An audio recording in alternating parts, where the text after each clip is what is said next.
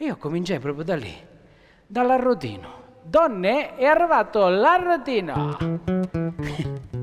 che prima mi portava sopra le spalle questi strumenti che pesavano un accidente, poi murdichedda sopra murdichedda mi ho comprato la bicicletta di Arrotino. Ma solo una rimase. Sembri proprio tu. Nella mia mente come la prima volta che la vidi. fiori mentre cadi su un fianco. Teresa. Sembri ancora Teresa tu. era bellissima. Preghi in ginocchio un dio muto mentre aspetti un segno.